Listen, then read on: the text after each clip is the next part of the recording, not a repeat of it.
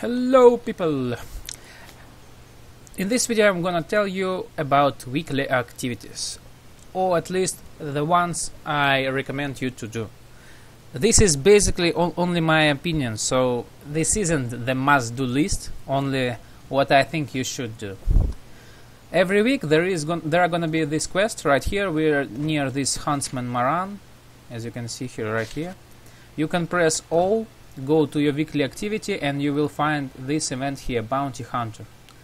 This is it. Basically i did video about this. Uh, this is uh, soul crystals quest. You will get five second level soul crystals. So if you don't have a lot of those you would like to do this. Uh, also you can check all uh, weekly activities right here to see which one you wanna do. Of course you would like to do this quest right here called uh, Fortune Egg that uh, appears only at Saturday and Sunday. You will get quite a bit of experience from it. As you can see here it is. you would also like uh, to do okay s- sorry right here is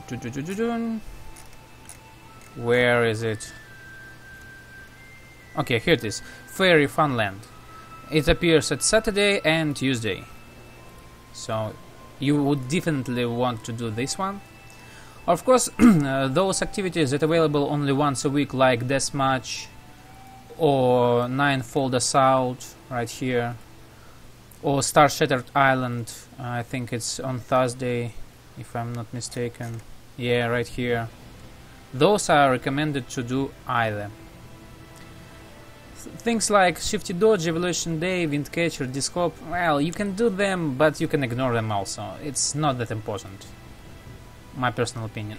of course, you would like to uh, at, at least once finish Battleground, because there is a, a week, uh, weekly quest with Battleground that's available right here from this NPC.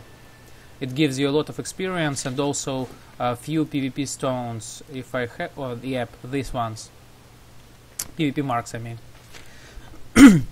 Another really important weekly activity that you must certainly do is from order. It's uh, to fill this bar right here, as you can see, and from 500, 850 and 1000 uh, Demon Slayer points or merit Demon Slayer points, you will get a reward. Three chests as you can see wh when I hover like this you can see what I will get for it. So to do this all you need to do is uh, finish your daily token quests one weekly quest and you're set to go. This weekly quest is uh, a little bit harder but it's also pretty much doable. So this one you have to fill too. This is another weekly activity that gives you a lot.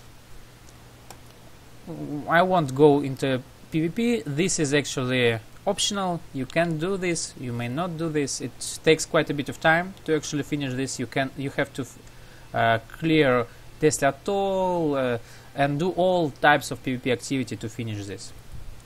Now, another really important activity that you have to do is dungeons, mainly uh, expert level dungeons, uh, because they have weekly limit for example, one of those dungeons that you certainly should do at least once a week is Tower of Pain.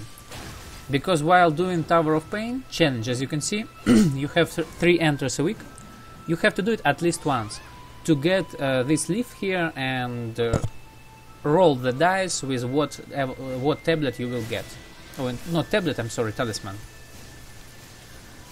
And of course, all expert level dungeons like Grand Bulwark, if you need gear uh, 50, 50 plus golden gear or deserted shrine if you need uh, 45 plus golden gear or mech citadel if you need already 60 plus golden gear or even later one dungeon called uh, eternal chasm yes this one.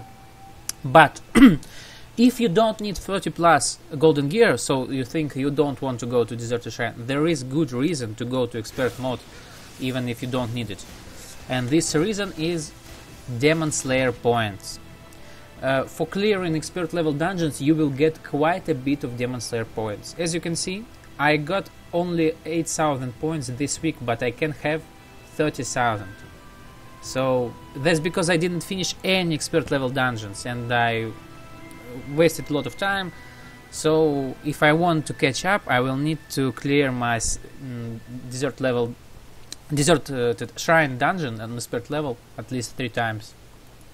Yep. Okay this is about dungeons. I think I covered another daily uh, weekly activity that you would like to do. Not so it's gonna be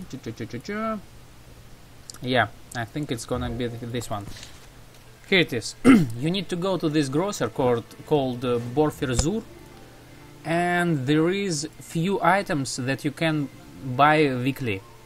Like this large level badge gift as you can see it costs demon slayer points and this badge fragment. You will get this guardian shop rune uh, when you finish your weekly event. From this reward for 1000 merit you will get uh, a chest in which you will find yourself guardian shop runes so you can buy these uh, uh badges either from here or or from here. As you can see from Borfin Non you also can buy a badge gift and fragment with imperial coins. Of course they are located here is for army coins and here's the NPC for Demon Slayer points. Now another uh, thing that I highly recommend you to do is faction quests at least uh, enough for you to buy ascension stones let me show you this.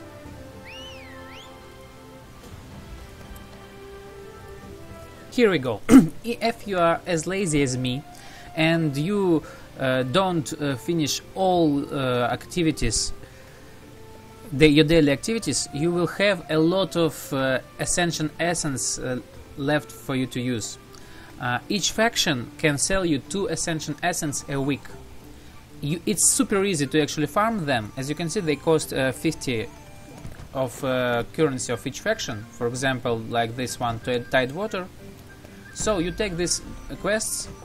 Let me show you where you get them. Like for example, this one. You go to this page and this uh, tab right here, famous across four seas. You go here, like I'm, I did, and you finish this quest. Okay, there are nine factions that you can do this weekly quest with. so in total you can get 18 Ascension Essences a week with this. It will take you about uh, 3 to 4 hours to actually finish all 9 factions. So it's super easy and it gave, gives you a lot of experience. Let me show you all these factions. It's Sulan, it's Falmari, it's Haif, Haifayen, basically mushrooms, it's Tidewater, in Snowpine, it's all the three: Ulcir, Vingar, Snowpine ridge. Uh, next, this one you won't be able to do. This one you can do. Also, no Northern Wolf. This one I, you can do either. Immortal Annex you can also do. This is a, a bit tricky, but you can also do this. This will be 10th faction which you can uh, work with and get another two ascension essences.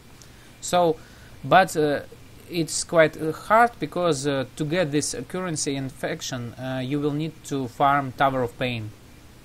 Uh, there, are, there isn't any ascension essence from any of this faction, so this is it. This is nine faction that I was talking about. When well, basically this is it, guys. This is all activities that I recommend you to do get your Ascension Essence from here. Or you will also get 7 from, from daily tokens. You can also get 7 from Deathly Atoll. This is already, uh, as you can probably count, 34 at least Ascension Essences. You can also get quite a bit of essences from uh, Trial of Four Kings if you do them daily. And tons of other stuff. But it ain't that important.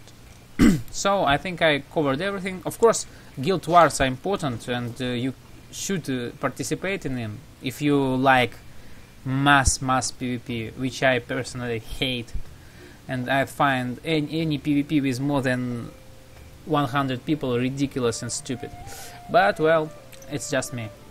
See you later, guys. Subscribe to my channel, and this is it for the for today, or at least for now. This is this was my weekly to-do list. See you later.